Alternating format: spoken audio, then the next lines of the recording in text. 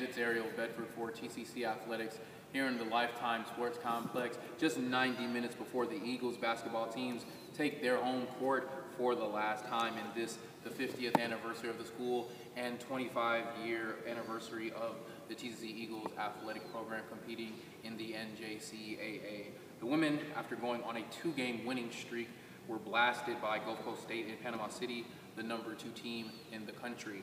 They'll have just as heavy a task this late afternoon, taking on the number six team in Chipola, whom the last time they faced each other embarrassed the Lady Eagles 91 to 40.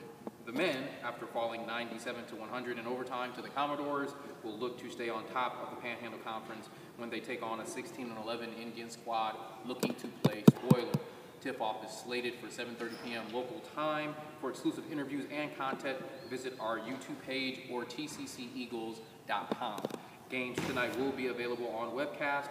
Also, stay locked in on our Periscope for Silver and Gold celebrating TCC's anniversaries.